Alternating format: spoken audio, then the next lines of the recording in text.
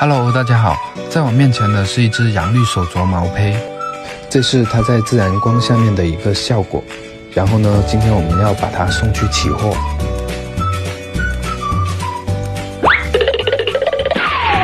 圈口我们是做成五十五圈口的，尽量保留最多的颜色，所以说也不用太多的去打磨它的厚度。提醒大家，在购买翡翠的时候一定要看自然光。行内有句话叫“灯下不看玉”，因为只有在自然光的时候，才能展示出翡翠最真实的一面。现在这个环节是给手镯胚做倒角处理，先把弧度打磨出来。经过了一道道的工序以后，杨绿手镯起货了，把它放在自然光下面，一起来欣赏一下。